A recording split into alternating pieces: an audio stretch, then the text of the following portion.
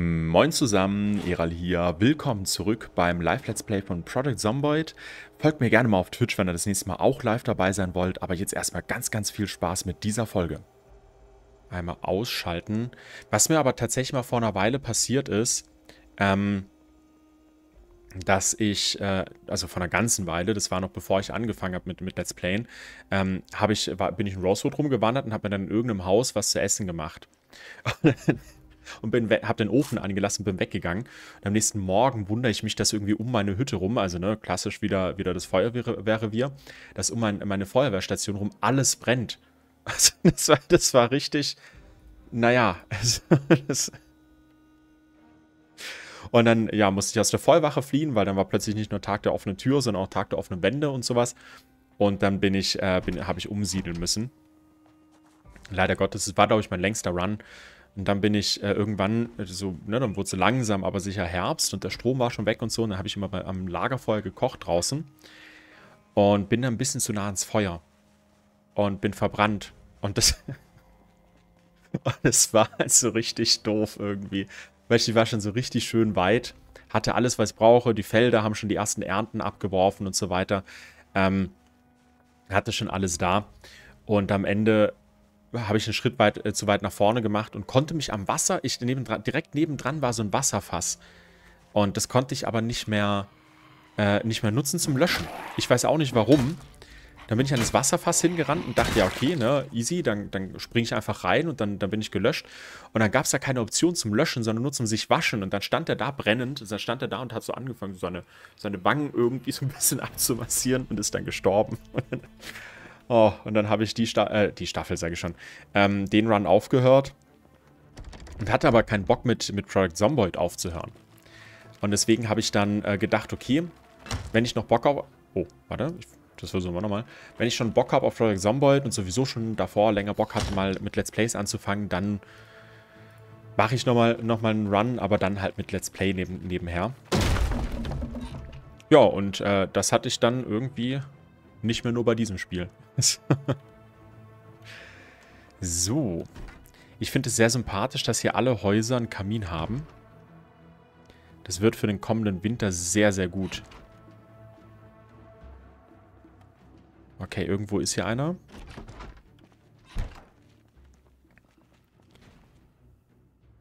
So, hier haben wir... Oh, Benzinkanister. Ich nehme mal, nehm mal zwei mit. Alle drei erstmal nicht, aber das, dass wir auf jeden Fall schon mal zwei auf Vorrat haben. Na komm.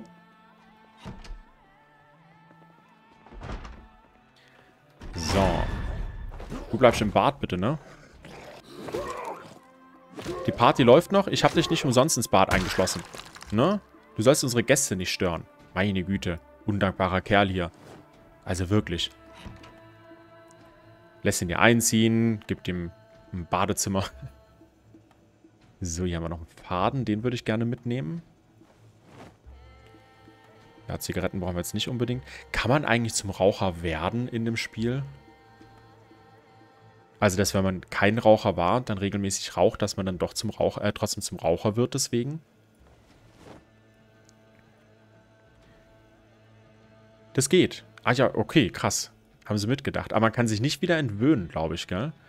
Meine ich mal gelesen zu haben, dass man den Rauchertrade nicht wieder loswerden kann, wenn man lang genug dann nicht raucht. Oh, Kaffee. Sehr gut. Ganz wichtig. Bisschen Marmelade. Hier haben wir einen Cracker. Dose mit Hafer. Nehmen wir alles mal mit. Ah, okay, doch. Ja gut, aber wahrscheinlich geht die Entwöhnung halt einfach sehr, sehr lange, ne?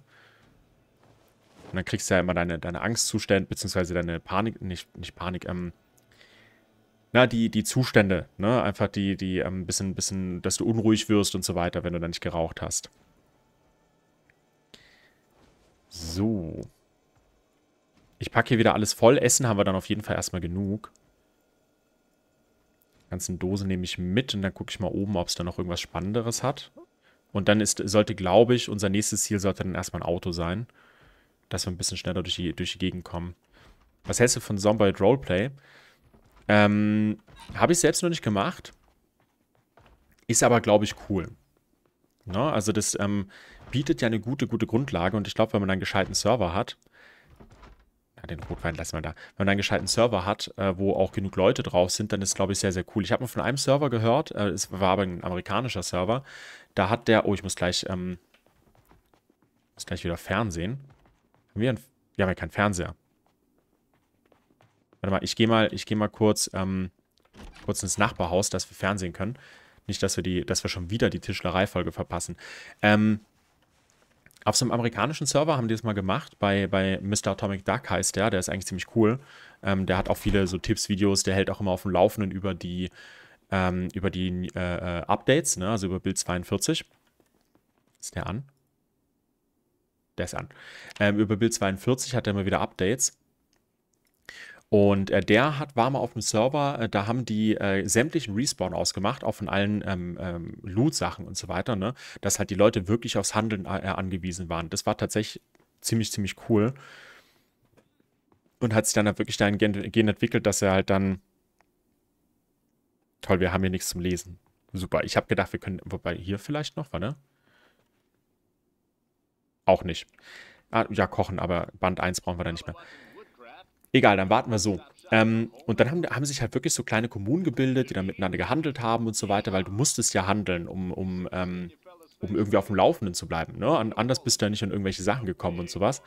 Ähm, das muss tatsächlich ziemlich cool sein. Auch sonst bietet es sich natürlich schon an für Rollenspiel. Als Community-Projekt vielleicht mal eine Zeit lang, aber ich würde, glaube ich, auf dem Server würde ich das dann äh, tatsächlich so, so ein bisschen mal mischen. Ne? Also ich würde dann immer mal wieder so neue Phasen machen, wo man dann mal sagt, okay, vielleicht mal gibt es eine Basenbau-Challenge dann hat man irgendwie zwei Wochen Zeit, eine Basis zu bauen. Ähm, und äh, dann vielleicht mal irgendwie ein, ein, ein, paar Wochen mit Sprintern und so weiter, ein paar Wochen im Winter vielleicht mal und so, ähm, dass wir solche, solche Sachen dann machen auf dem Community-Server.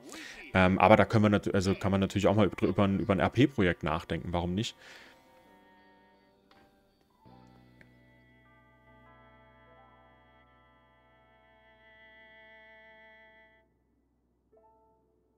Ah, die Folge ist schon vorbei. So eine Gruppe, die gemeinsam sich organisieren müssen, dann überleben. Genau, das, das ist ja... Also es gibt, gibt schon viel, viel Möglichkeiten, muss man sagen. Wie man das auch RP-technisch noch ein bisschen ausnehmen kann, in Anführungsstrichen, das Spiel. Da gibt es ja auch so, ähm, so ein Szenario, das man runterladen kann, wo man dann irgendwie mit, ich glaube, drei bis sechs Leuten spielen kann. Ähm, da ist man quasi ein Polizist ganz zu Beginn der, der, der, ähm, des Ausbruches und sowas. Da muss man ins Krankenhaus fahren und dann im Krankenhaus die Leute irgendwie ähm, retten und so, ne?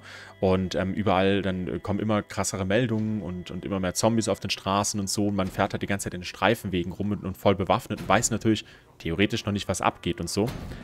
Also gibt es schon viele coole Möglichkeiten, was man da machen kann. Guck mal, der hat einen Halfter, sehr gut. Den ziehe ich direkt an. Ich muss da auch selbst noch mal ein bisschen gucken, ob ich noch mal ein paar Szenarien rauskame. Weil so momentan bin ich wieder so voll drin irgendwie. Also habe ich wieder voll Lust auf Project Zomboid. Ist ja auch ein cooles Spiel, ne? Also trotz der Grafik muss ich sagen, ist es glaube ich immer noch das, das beste Zombie-Survival-Spiel, das ich kenne. Äh, und sogar, ich würde sogar für, für, für mich subjektiv, würde ich sogar ähm, Force Gum positionieren als bestes Survival-Spiel, das ich kenne. Einfach deswegen, weil halt ähm, es, es ist nicht ganz so krass repetitiv wie Scum. Weil bei Scum hast du irgendwann nur noch extrem starke Gegner oder sonst nichts mehr zu tun. Ne? Ähm, das fand ich dann bei Scum mit der Zeit ein bisschen lästig. Aber naja. Hättest du darauf Lust? Äh, worauf genau meinst du jetzt? Auf, auf, ein, auf Community-AP oder? Oder auf Szenarien oder, oder wo, worauf meinst du genau? ich, ich, ich weiß gerade nicht, was ich alles gesagt habe.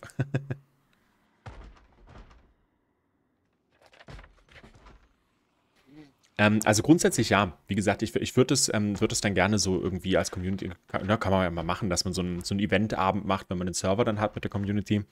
Ähm, kann man auf jeden Fall mal machen. Ich meine, ich habe ja früher auch, äh, ich weiß nicht, ob ich, ich glaube, das habe ich schon mal erzählt irgendwann.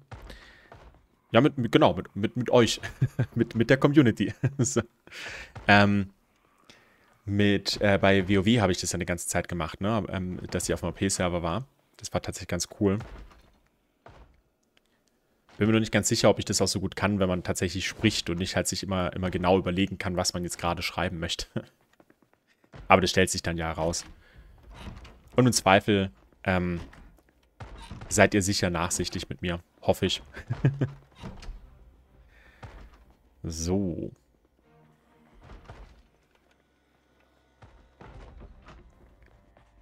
Ich muss gleich wieder aus. Oh, oh.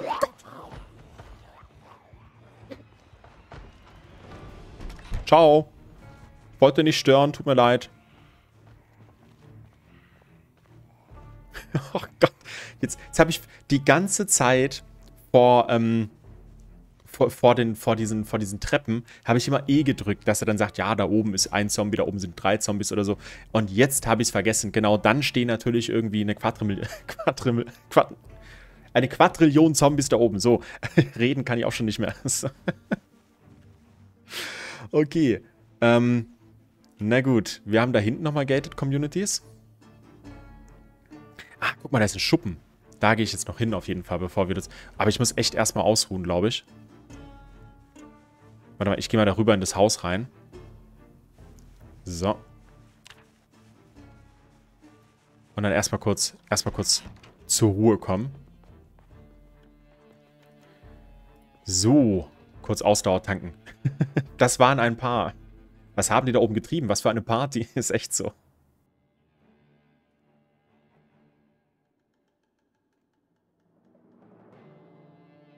Da denkt man sich so, okay, die Einstellungen sind gar nicht so krass eingestellt diesmal, ne, gerade am Anfang.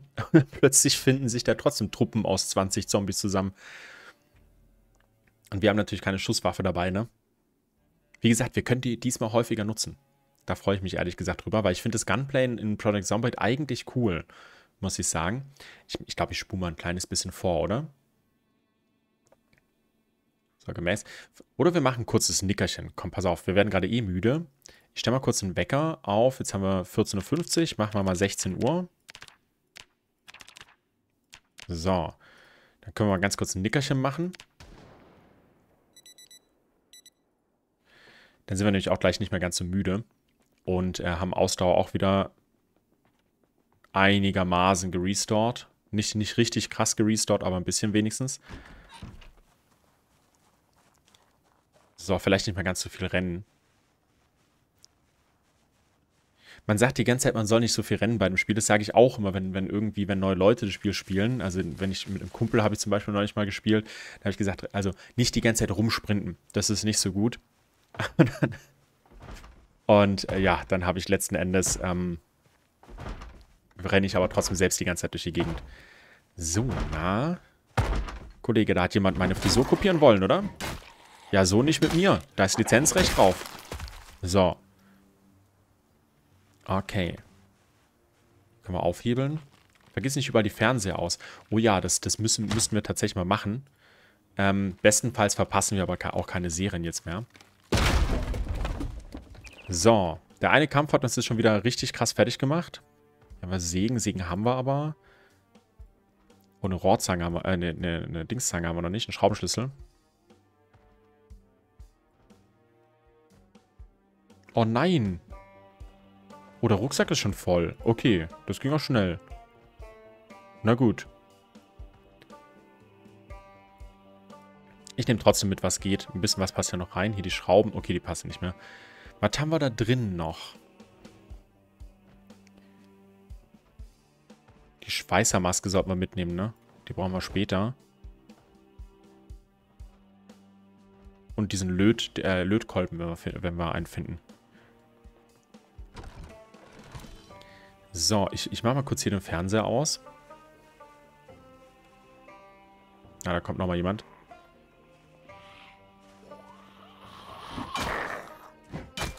Na komm. Einfach nur hinlegen. Ist doch gar nicht so anstrengend. So, okay. Beziehungsweise ich mache es anders. Ich lasse den Fernseher hier drin jetzt mal an. Und dann koche ich jetzt hier mal kurz was zu essen. Da steht ja noch ein bisschen was auf dem Tisch. Ungekocht Stielkopf mit Reis. Können wir da noch... Mache Reispfanne mit Mais noch. So. Und dann können wir den mal kurz kochen. Und können dann... Dann trainiere ich während dem Kochen nochmal kurz ein bisschen. So. Und äh, dann gucken wir hier nochmal Fernsehen, bevor wir hier den Fernseher ausmachen.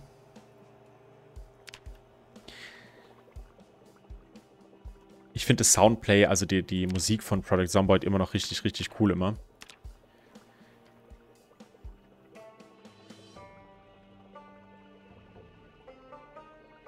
So, die jetzige ist einigermaßen spannend, sage ich mal, aber es gibt ja auch noch die, diese Musikstücke, die dann halt so richtig vermitteln, wie, wie alleine man eigentlich ist in dieser, dieser Apokalypse, ne? Das ist ja, glaube ich, auch ein krasse... Oh, es gibt so eine Backroom-Map übrigens noch von Project Zomboid. Die wollte ich auch mal probieren. Zu viel Sport ist aber auch nicht gut, zumindest nicht am Anfang meiner Meinung nach. Das stimmt, aber wir, wir brauchen die Regelmäßigkeit, dass wir halt einigermaßen schnell dann auch äh, auf Fitness aufbauen. Aber deswegen mache ich immer nur so 20 Minuten Intervalle. Damit habe ich bisher relativ gute Erfahrung, dass man da nicht so viel Muskelkater bekommt.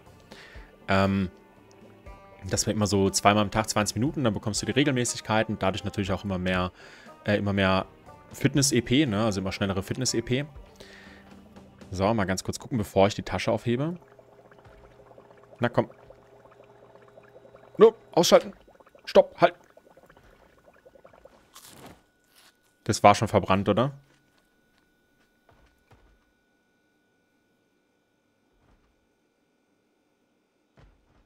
Durst. Ich glaube, das war schon verbrannt.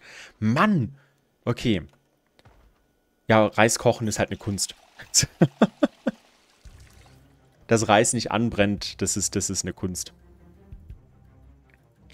So, mal hier wieder auf den Rücken. Dann gehen wir zum Sofa und ruhen uns wieder ein bisschen aus und gucken natürlich ein bisschen Live and Living. Wie Bear Grylls den Mittelstrahl trinkt. Ah, fuck. Jetzt bin ich nicht im... Entschuldigung. Jetzt bin ich nicht im richtigen Haus. So viel zum Thema, ich mache hier den Fernseher aus. Dann ganz, ganz schnell zum nächsten. Das ist aber noch nicht meins. Nee, ist noch nicht meins. Komm schon, 10 Minuten haben wir noch. Mich reicht es noch. Okay, jetzt sind wir richtig außer Atem. Hoffentlich folgt uns keiner. Weil kämpfen wäre jetzt nicht gut. So, der läuft noch. Ich dachte tatsächlich, dass das hier ähm, das Haus wäre, wo der Fer äh, also das das andere Haus dieses Jahr wäre, wo der Fernseher drin steht. Aber in dem Fall habe ich mich gehört. Auch im Obergeschoss schauen. Ja, die Frage ist, ob wir jetzt tatsächlich die Häuser schnell genug äh, abgefarmt bekommen, dass es tatsächlich Sinn macht, alle auszumachen. Weil 100 äh, Meter sind weit, ne?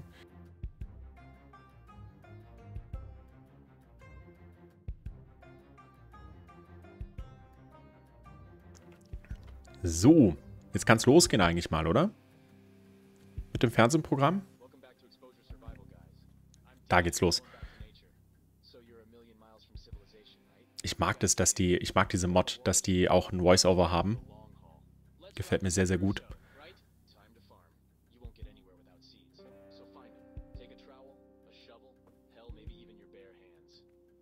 Kann nur so 15 Meter sein. Mach einfach mal die nächsten drei, vier Häuser im Umkreis. Ja, wir, wir gucken jetzt einfach, dass es passt, ne? Ähm, weil wir müssen ja auch in die Häuser nebendran und so dann noch. Und wenn ich dann eh schon drin bin, will ich auch looten. Äh, um halt keinen keinen Rucksack liegen zu lassen oder sowas. Aber wir gucken natürlich, dass wir machen ja sowieso erstmal die Häuser neben, äh, nebendran. Ups, Entschuldigung, nebendran. Ich habe vorhin Ofenkäse gegessen. Der liegt noch ein bisschen schwer im Magen. So. Ähm, machen ja erstmal die Häuser nebendran überall. Aber jetzt gehe ich erstmal für heute mal zurück. Dann kann ich die ganzen Sachen hier noch einlagern. Und dann brauchen wir langsam echt mal Ruhe, weil das hat uns jetzt auch noch nicht so viel gebracht. Geht die Ausdauer eigentlich hoch oder runter jetzt gerade? Geht immer weiter runter. Ah, Mist. Ich will auch einen Ofenkäse. also ab und zu ist es schon mal ganz geil, so ein Ofenkäse. Ich verstehe auch nicht, wie in der Rogette-Werbung dann vier Leute nebendran sitzen können, ohne dass Da lief noch was. Everywhere I go, good friends say thank you, Dr. Cox. Thanks for asking family doctors to recommend. Incontilev. Product may cause swelling of the urinary tract. Headaches, nausea and sudden irritation. Ach, das sind die News. Ach so, okay. Ich habe mich schon gewundert, dass hier plötzlich der Fernseher an war. Aber gut. Ähm, auch nicht... Ich, ich muss, glaube ich, kurz ausruhen, bevor wir weitergehen. Weil wenn ich gar nicht rennen kann, das ist mir ehrlich gesagt ein bisschen zu gefährlich. So, ich setze mich mal kurz hier hin. Dann spulen wir ganz... Warte, aber ich lese dabei natürlich was. Keine Zeit verschwenden, gerade am Anfang. So. Nahrungssuche. Weiß nicht, ob es so viel bringt. Schneiderei würde ich ganz gerne ein bisschen skillen. Fallen stellen. Na komm, dann mach mal, mach mal Nahrungssuche. Besser, als wenn wir gar nichts lesen. Hallo? So. Und die kann ich eigentlich auch wieder anziehen. Einmal vorne und einmal hinten. Und dann erstmal kurz ein bisschen sitzen, ein bisschen Füße hochlegen und Nahrungssuche lesen. So. Woher kommst du eigentlich? Ähm, relativ südlich in Baden-Württemberg. Äh, weiter ins Detail würde ich ungern gehen, ne, so öffentlich und so. Ähm, aber relativ südlich in Baden-Württemberg. Deswegen kommt auch manchmal so ein bisschen der Dialekt durch mit Sch und sowas. Und so. Na, das ist aber nicht so gut. so, wenn der hier gerade eh liest und ausruht, dann checke ich mal ganz kurz Tee ein und dann können wir die Zeit ein bisschen vorspulen. Klar, Moment.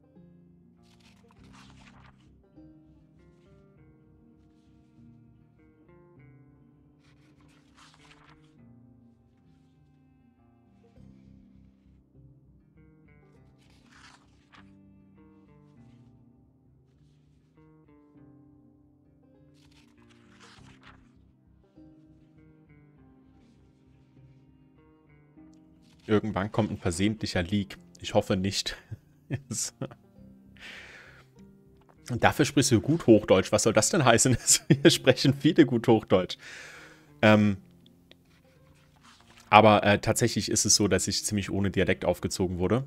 Ähm, was ich allerdings ganz gut finde, weil, weil es ist einfacher, auch andere Dialekte zu verstehen, glaube ich, ähm, wenn man, äh, wenn man äh, wenn man halt Hochdeutsch spricht. Ne? Und, und man versteht dich vor allem überall. Also das ist auch ganz gut. Äh, ich bleibe tatsächlich hier äh, im, im gleichen Ort. Das heißt, ich ziehe nicht, nicht weit weg, sondern bleibe im gleichen Ort. Was äh, ganz cool ist, ne? dann ist der Umzug ein bisschen einfacher. Der zweite Drachenlord. Ja, auf die Geschichte gehen wir vielleicht besser nicht ein. Sag mal, Restored ist überhaupt Ausdauer jetzt gerade? Ich habe irgendwie nicht das Gefühl. Achso, weil wir total übermüdet sind. Vielleicht schlafen wir heute mal hier in, der, in dem Haus.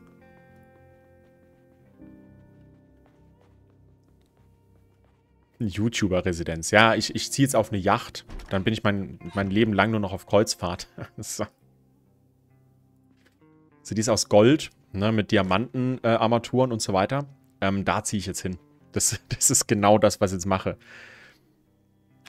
Nee, Quatsch. Aber tatsächlich eine etwas größere Wohnung. Ähm, dass ihr auch ein, auch ein Büro habt für, ähm, für einerseits Homeoffice, andererseits aber auch, ähm, auch natürlich fürs Aufnehmen und sowas. So. Leiche raus vom... Sch oh, das habe ich jetzt vergessen. aber ist, glaube ich, nicht so wild. Wir haben ein bisschen, ein bisschen ähm, Muskelkater hatten wir jetzt nachts über. Das heißt, mittags trainieren ist eigentlich ganz gut. Dann hat man in der Nacht den Muskelkater. Das geht eigentlich. So. Aber vom neuen Studio gibt es dann auf jeden Fall mal ein Foto auf, äh, auf Instagram und Discord. Dass er auch mal sieht, wo, wo diese Kunst entsteht. Nee, aber... aber dass man da natürlich auch mal ein bisschen, ein bisschen mit einbezieht. Aber natürlich schön mit geschlossenen Rollläden, ne? Also... Homeoffice. Ich wusste gar nicht, dass du ein Großverdiener bist. Bin ich auch nicht. Bin ich nicht.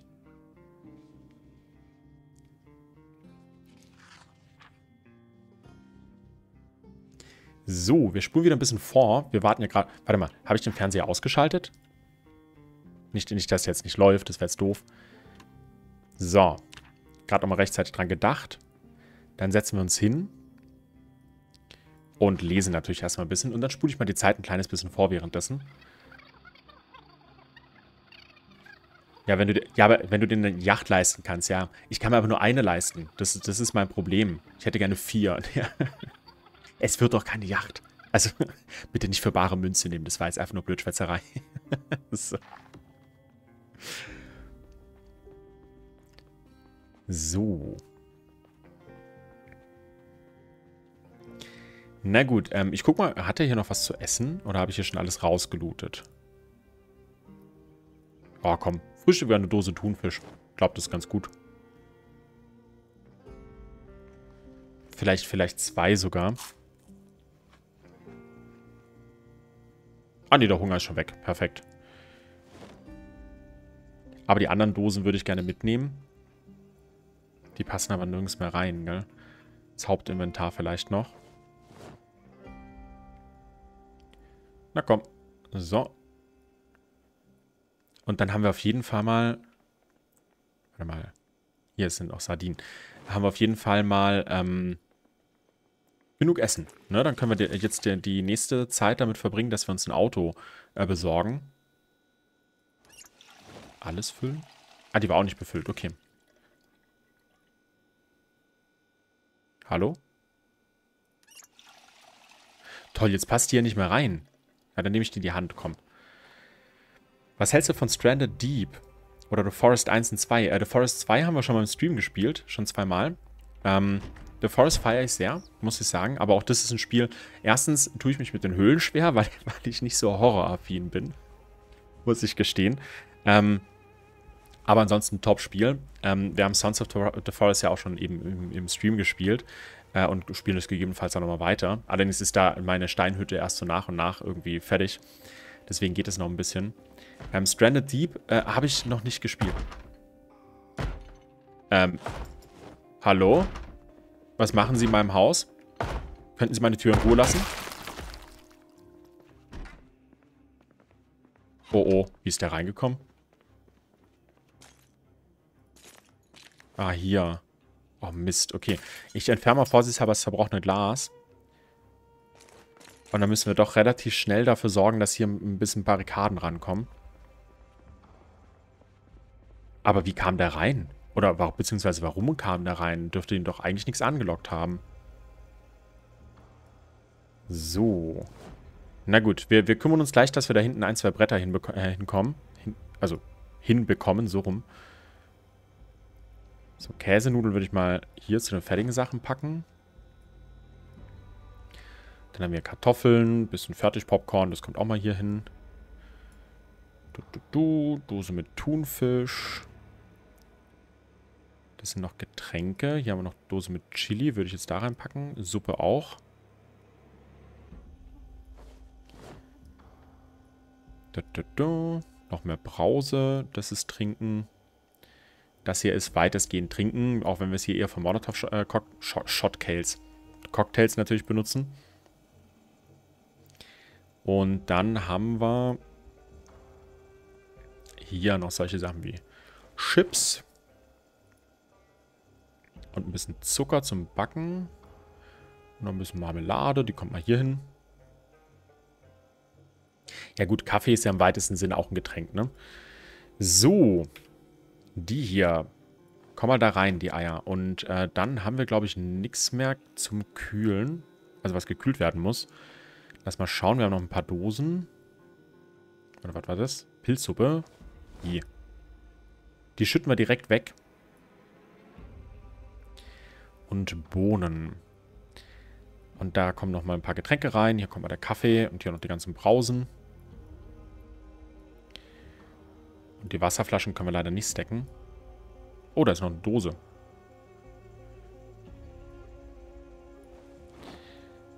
Dass so eine Bourbonflasche kleiner ist. Achso, das sind wahrscheinlich diese kleinen Flaschen, oder? Von, von Dings.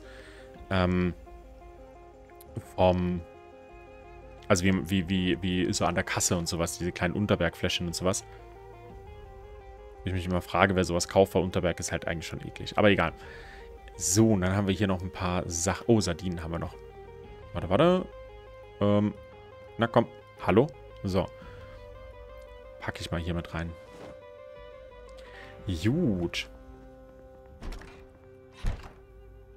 Stranded Deep ist doch auch komplett verbuggt, oder? Ja, aber das ist ja das Geile.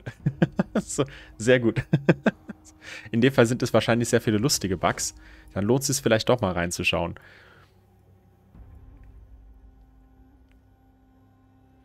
So. Hast du eigentlich mitbekommen, was die Braunschweiger im Hannover-Stadion gemacht haben? Ich, ich glaube, sowas verfolge ich überhaupt nicht. Also, äh, kurz gesagt, habe ich nichts mitbekommen. ah, jetzt habe ich die Sardinen immer nicht weggepackt. So, Nahrungssuche.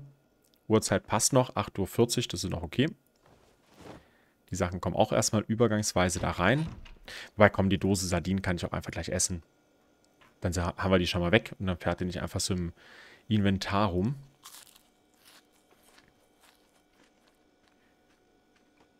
Den ganzen Sitzreihen rausgerissen, da Hannover gewonnen hat.